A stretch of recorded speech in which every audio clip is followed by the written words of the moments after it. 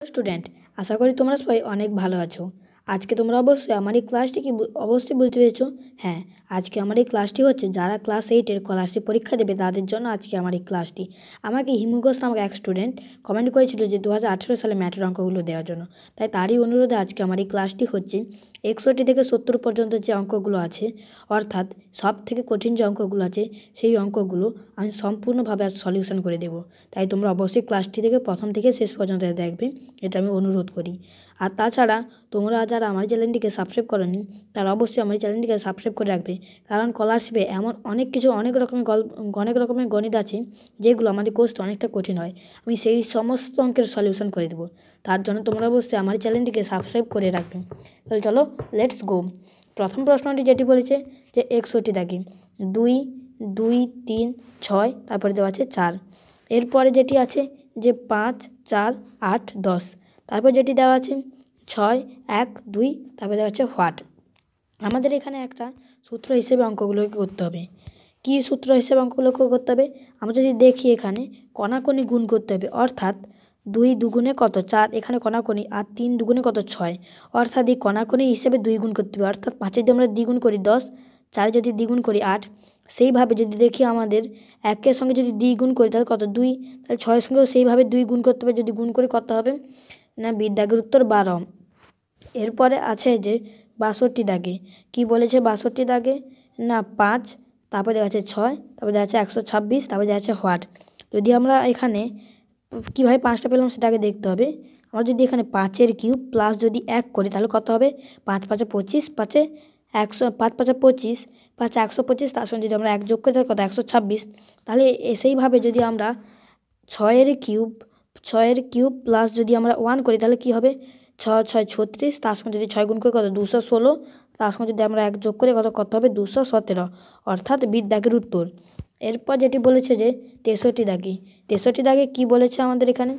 যে দেওয়া আছে যে চার, নয়, এক, আর দেওয়া আছে এখানে হোয়াট? এক, চার, মাঝখানে দেওয়া আছে দুশো একত্রিশ।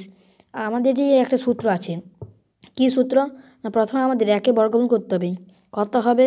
না, এক হবে। তারপরে চার আছে মানে চারে বর্গমূল করতে হবে। কত হবে? দুই হবে। তারপরে নয় আছে, যদি আমাদের এবার নয়ের বর্গমূল করতে হবে, কত হবে?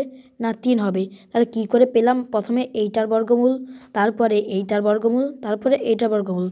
ঠিক একইভাবে তাহলে এই এটাকে ওইখানে করতে হবে।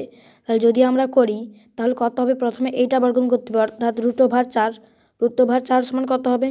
না কত? দুই হবে। তারপর যেহেতু তিন দেওয়া আছে, এখানে যদি তিন হয়, তাহলে আমাদের এখানে তিনের বর্গ করতে হবে অর্থাৎ কত হবে? নয়। তাহলে আমাদের এখানে হোয়াট চিহ্ন জায়গায় নয় হবে। তাছাড়া আমরা যদি নয়ের বর্গমূল করি, তাহলে তিন হবে। তাহলে তিন এবং এক যে আছে, যদি আমরা বর্গমূল করি, তাহলে এটি হবে এক। তাহলে উত্তরটি হবে বিদ্যাগের উত্তর নয়। এরপর যেটি বলেছে, সেটি বলেছে যে চৌষট্টি দাগে। হোয়াট? দুই, তিন, চার, পাঁচ, আট, বারো, ষোলো। এখানে এইভাবে দেওয়া আছে। এটিকে কী করতে হবে? আমাদের যদি কণাকণি যদি দেখি, তাহলে এটি চার গুণ। দুয়ের দুয়ের সঙ্গে যদি আমরা চার গুণ করি কত? আট। তিনের সঙ্গে যদি আমরা চার গুণ করি, তাহলে কত? বারো। চারের সঙ্গে যদি আমরা চার গুণ করি, তাহলে ষোলো। এরপর যদি আমাদের পাঁচের সঙ্গে চার গুণ করতে হবে, কত হবে? না, কুড়ি। অর্থাৎ সির দাগের উত্তর। এরপর যেটি আছে সেটিও বলেছে যে পঁয়ষট্টি দাগের। যে পঁচিশ, সতেরো, ষোলো, আর আছে আটত্রিশ। আঠেরো আট, তারপরে আছে উননব্বই, পনেরো হোয়াট। এই যে, এটি কিন্তু আমরা এখনও পর্যন্ত পারিনি, কারণ আমাদের কাছে সময় খুব কম ছিল। তাই তোমাদের ক্লাসটি দেওয়ার জন্য এইটি এই অঙ্কটি এখনও পর্যন্ত আমরা পারিনি। তাই তোমরা যদি কেউ পারো, তাহলে তোমরা অবশ্যই কমেন্ট করে জানাতে। হবে আর তারপর যে প্রশ্নটি বলেছে, সেটি বলেছে যে, একটা স্টার রাখা আছে স্টারের মধ্যে এখানে দেওয়া আছে সাত, এখান দেওয়া আছে ষোলো, এখান দেওয়া আছে চৌত্রিশ, এখান দেওয়া আছে হোয়াট, তারপর দিয়েছে একশো বিয়াল্লিশ, তারপর দুশো ছিয়াশি। এই অঙ্কটিও আমরা এখনও পর্যন্ত পারিনি। তোমরা যদি কেউ পারো, তাতেও তোমরা অবশ্যই কমেন্ট করে জানাতে। এরপর যে প্রশ্নটি বলেছে যে সাতষট্টি দাগেরটা কি বলেছে এখানে এখান দেওয়া আছে চার এখান দেওয়া আছে নয় এখান দেওয়া আছে এক মাঝখান দেওয়া আছে একশো তেইশ এখান দেওয়া আছে নয় এখান দেওয়া আছে ষোলো এখান দেওয়া আছে চার মাঝখান দেওয়া আছে দুশো চৌত্রিশ এখানে দেওয়া আছে ছত্রিশ এখান দেওয়া আছে উনপঞ্চাশ এখান দেওয়া আছে তিন নয় এখান দেওয়া আছে হোয়াট আমরা এখানে কীভাবে পাবো এই অঙ্কটা ঠিক সেখানে যে একটা ত্রিভুজ দেওয়া ছিল সেই সেইটার মতন এখানেও ফের একইভাবে একের বর্গমূল করতে হবে হবে কত না এক তারপর আবার চারের বর্গমূল করতে হবে, কত হবে? না দুই। আবার তারপর নয়েরও বর্গমূল করতে হবে, যদি আমরা নয়ের বর্গমূল করি তাহলে কত হবে? না তিন। ঠিক একইভাবে তারপর এটা যদি আমরা দেখি, তাহলে নয়ের বর্গমূল করতে হবে আমাদের কত হবে? না কত, তিন হবে।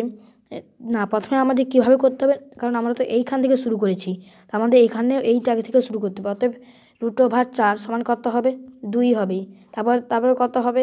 যেহেতু আবার এইখানটা আছে অর্থাৎ নয় বর্গমূল করতে হবে। যদি আমরা নয় বর্গমূল করি কত হবে তিন। তারপর যেহেতু ষোলো আছে, ষোলো যদি বর্গমূল করি কত হবে চার। অতএব দুশো চৌত্রিশ উত্তর হয়েছে। এরপর তাহলে যেটি আছে তাহলে এইটা প্রথমে বর্গমূল করতে হবে। যদি বর্গমূল করি তাহলে কত হবে না তিন। তারপরে কি আছে? নয়ের পর আবার এইটাকে বর্গমূল করতে হবে। যদি বর্গমূল করলে কত হবে না ছয়। তারপরে যেটি আছে যে এইটি এটিকে বর্গমূল করলে কত হবে সাত, অর্থাৎ তিনশো সাতষট্টি ডির দাগের উত্তর। এরপর যেটি বলা আছে যে আটষট্টি দাগে। কি বলেছেন না? আট, এক, আট আট এক আট, তারপর চার দুই আট, তারপর তিন তিন তিন তিন তাহলে আছে হোয়াট। আমরা তাহলে এটি কীভাবে করব দেখে নিই। এখানে যদি আমরা দেখি, তাহলে এটি হবে যে আট আর যদি আমরা এক গুণ করি তাহলে আট। আমরা তাহলে কী করে, আমরা তাহলে কী কী করে পেলাম যে আট এই যে আট এই যে এক, এই দুটোকে গুণ করে পেলাম আট। ঠিক একইভাবে চার আর যদি আমরা দুই গুণ করি তাহলে কত হবে না আট। তারপর যদি আমরা তিন আর তিন যদি গুণ করি এখানে তিন আর তিন, তাহলে কত হবে না নয়। অর্থাৎ সিদ্ধাকের উত্তর। এরপর যেটি, যে প্রশ্নটি বলেছে সেই প্রশ্ন দেখে নিই। এরপর বলেছে, ঊনসত্তর। এখান দেওয়া আছে একশো পঁয়ত্রিশ, নয়, এখান দেওয়া আছে নয়, এখান দেওয়া আছে দুশো পঁচাশি, এখান দেওয়া আছে পনেরো, এখান দেওয়া আছে ছয়। তারপরে আবার এখান দেওয়া আছে একশো ছত্রিশ, তারপর এখান দেওয়া আছে হোয়াট, তারপর এখান দেওয়া আছে এক। এটা আমরা কীভাবে বের করব? এটা হচ্ছে আমাদের দেখতে হবে। এটা আমরা কীভাবে বের করব? আমরা একবার দেখে নিই। এই প্রশ্নের উত্তরটি দেওয়া হবে যে একশো পঁয়ত্রিশ দেওয়া তো আছে এখানে, তারপর লেখা আছে নয়, এখানে দেওয়া আছে নয়। যদি আমরা একশো পঁয়ত্রিশকে যোগ করে অর্থাৎ এক, তিন আর যদি পাঁচ যোগ করে তাহলে কত হবে? নয়। অর্থাৎ এই সংখ্যাটা পেলাম। নয়ের আগে কোনো সংখ্যা নেই মানে কত? শূন্য। আর শূন্য আমরা যদি নয় যোগ করি তাহলে কত হবে? নয়। অর্থাৎ আমরা এই সংখ্যাটা পেলাম। ঠিক একইভাবে দুশো পঁচাশ, দুশো পঁচাশিকে যদি আমরা যোগ করি তাহলে কত হবে? পনেরো।